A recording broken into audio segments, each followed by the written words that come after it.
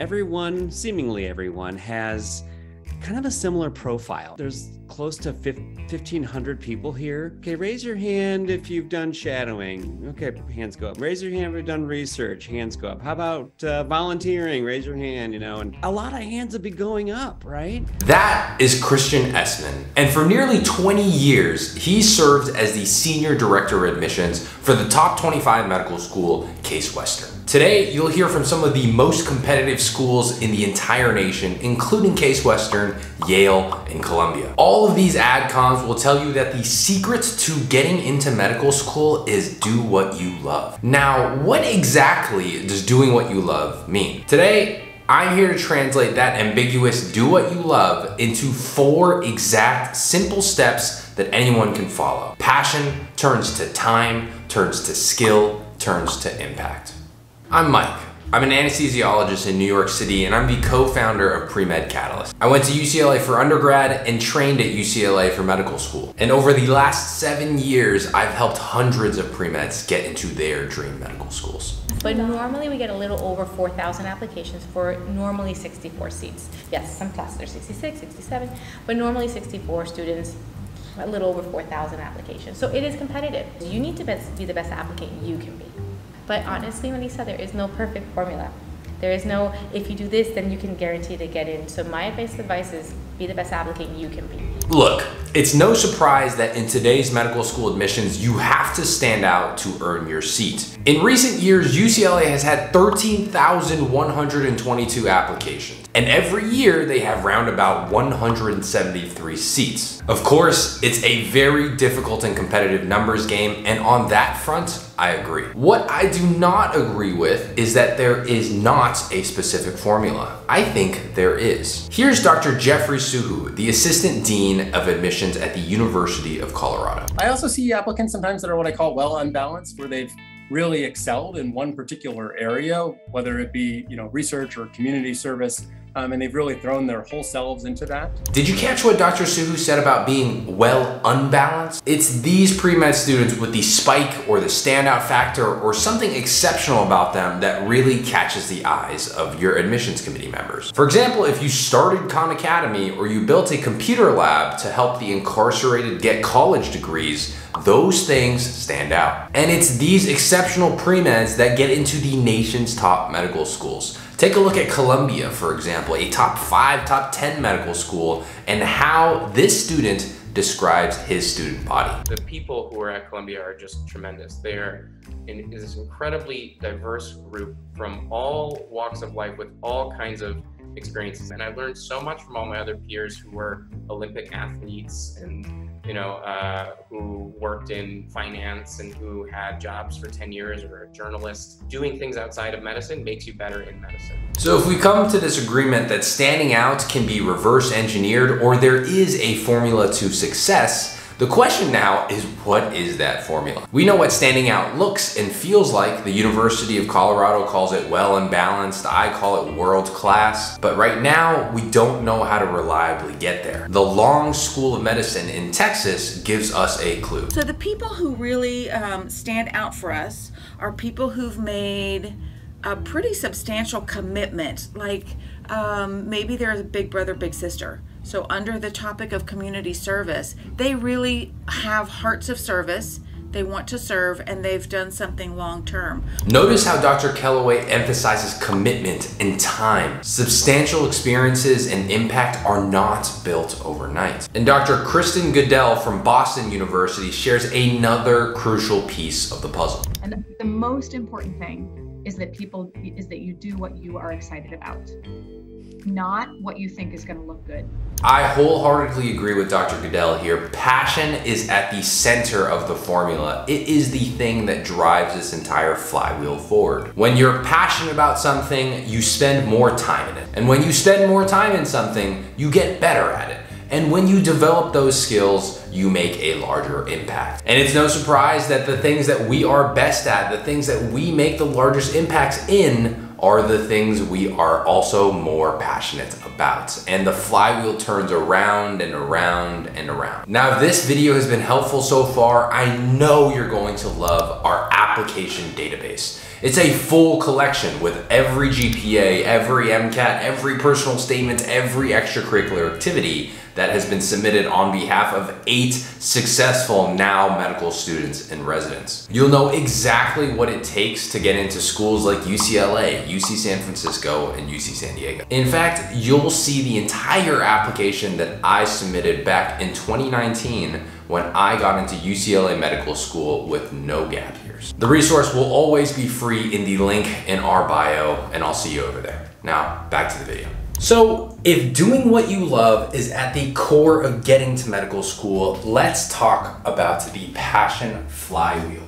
Also known as a positive feedback loop or a virtuous cycle, flywheels build on top of each other. And for pre-med admissions, the passion flywheel, you guessed it, starts with passion at the top. Now, if you're anything like me, you remember the piano lessons, violin lessons, viola lessons that you had as a kid and how much of a slog it was to do just 30 minutes of practice a day. And if you're anything like me, you also remember what it's like to play four, five, six hours of video games without ever needing to take a bathroom or a food break. The point here is that the things you are passionate about, you spend more time on, which is the next part of our flywheel. And the things you are less passionate about, you spend less time on. Carrying that piano video game analogy forward, the more time you spend on that video game, the better you get at it. You develop skill over time as you put more and more of your time invested into that craft. And when you get better at something, the accolades, the trophy, the victories, they all pile up.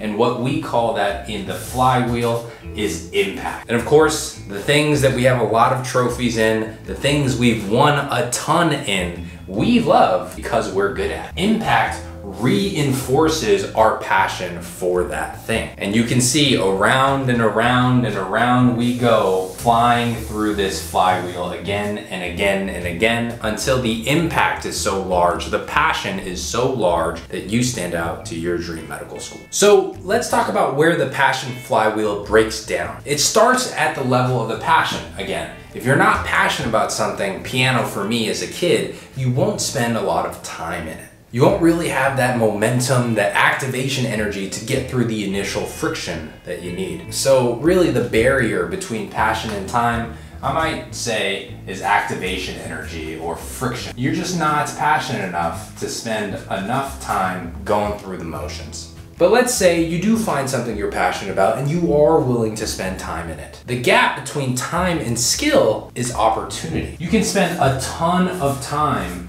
doing something. But if the opportunity is not right, the extracurricular activity is not right, then you won't develop the skills that you need. Let me give you an example. A lot of pre-med students will spend three, four, five thousand hours as a volunteer at a hospital, a medical assistant at a clinic, and those become repetitive or repetitive, repetitive tasks. They're not really developing the skills that they need to stand out and make an impact. So the gap between time and skill is finding the right opportunity vehicle. For a student interested in working with children, it may start as being a medical assistant at a pediatrics clinic. It may then evolve to a different opportunity vehicle where you're doing basic science research on children bloodborne cancers. It then may evolve where you find another opportunity vehicle where you're working on public health research for food deserts, uh, helping children get fresh produce. Now, once you have the skill, you have the perspective, what would be the barrier between skill and impact? Really, that right there is focus or direction. If you do not have the correct direction or strategy, one may say,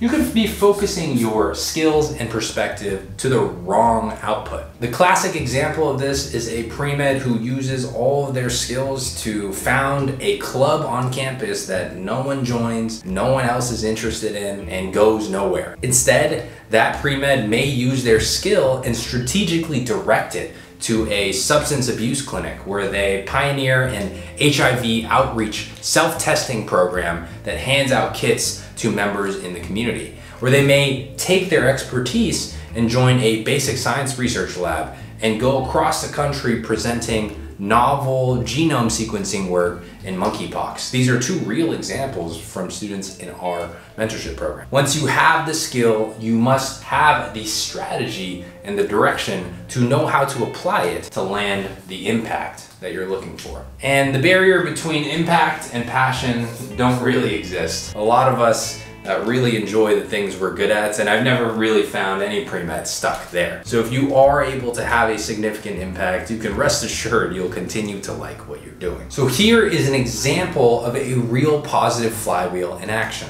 One of our pre-meds in our mentorship program, Betty, is interested in infectious diseases, or ID. She uses that passion and spent some time in the basic science research lab where the skill that she developed was the scientific method, literature review, things of that sort. And off the back of that skill that she developed, she published a first author publication sequencing the monkeypox virus mutation. And that led her to become more interested in infectious disease. Back to the passion, deepening the passion, where she spent time abroad in countries like Bolivia and spent time shadowing real clinics and real hospitals specializing in global infectious diseases like Chagas. That skill, that perspective of knowing that population, understanding healthcare abroad has not translated into impact yet, but I'd bet that that information and perspective will turn into impact down the line. And around the flywheel we go again. Her infectious disease basic science research and her infectious disease clinical shadowing abroad now led her to try and combine the two. She's now working in research with people, also known as clinical research. She's, she spent some time in a clinical research lab looking at HIV, hepatitis B co-infection in Africa, taking that literature review skill she developed from the first term, and now is publishing even more work looking at the incidence of cirrhosis in Vietnam veterans who have hepatitis C. And around the flywheel we go again. Even more interested in HIV and that specific sub-niche of infectious disease, she spent time on the street medicine outreach clinics becoming an HIV linkage counselor the skill there is learning how to start a program, learning how to partner with the LA Department of Public Health, learning how to work with social workers and see people in under-resourced communities. Thus far, she's been able to offer self-test kits to 30 plus unhoused individuals in the LA community. That is real impact. And again, the passion flywheel turns one more cycle around. Eventually, you make enough turns of this passion flywheel and you get an application that is so undeniably impactful and it is so clear what the passion of that pre-med is that medical schools must notice. That is the power of the passion flywheel. And that is how you take something that you love, something every admissions committee member loves saying, your passion, convert it to your time. Use the time to leverage skill. Use the skill to develop impact. And that impact makes you more passionate about the original thing. Make sure that the things that you're doing, you're actually passionate about, or else you won't overcome that activation energy. Make sure that you have the mentors to choose the right opportunity. Otherwise, you won't develop the appropriate skills. And once you have the skills, think about the strategy and direction you want to take those skills so that you can actually create real impact in your application. That's the thing that matters, not the passion. The passion is the thing that drives the flywheel.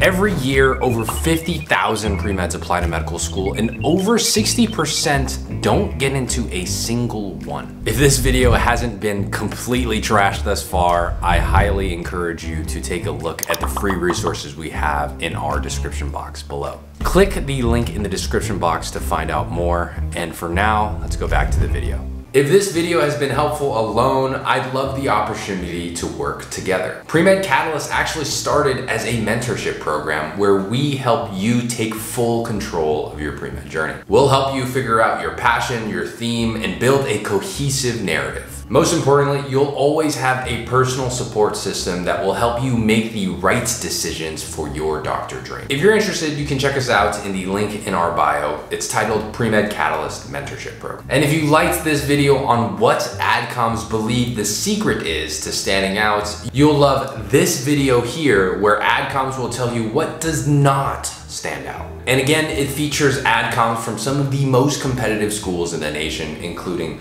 Boston University, University of Colorado, and Harvard. Now that you know what to do from this video, there's no better advice than learning what not to do from the actual people who make decisions on your candidacy. Again, that video is here and I'll see you over there.